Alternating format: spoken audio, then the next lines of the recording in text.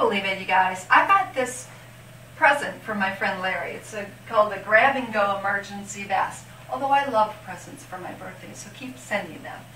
I just looked at it and thought, why'd you give me this? You know, why do you think I need a vest for an emergency? And then you said, oh, you made a great point. You never know when something disaster might strike, and I thought, oh, gosh, that's such a great point. So let me try it on. And it comes just fully, you know, everything's difficult, but this is pretty easy to get on.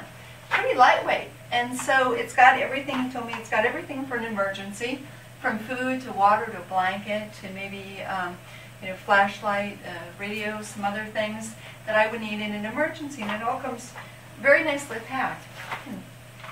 Not bad. My shoes even.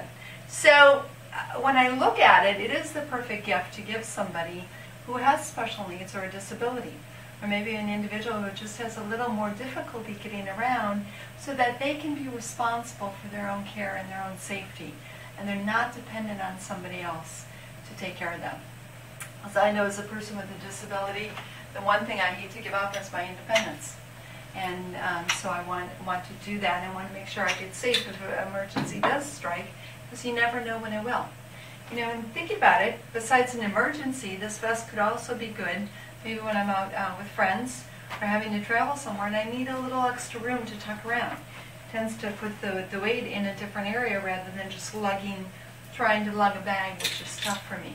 So if you really want to give a gift that makes a difference to somebody who may want to, you know, look at um, taking care of themselves, they've got limited mobility or just they need a couple extra hands to maybe take one of their friends with them. I'll be back for you guys. Look at the grab and go emergency vest from hrknowledgebase.com. Be safe. See you.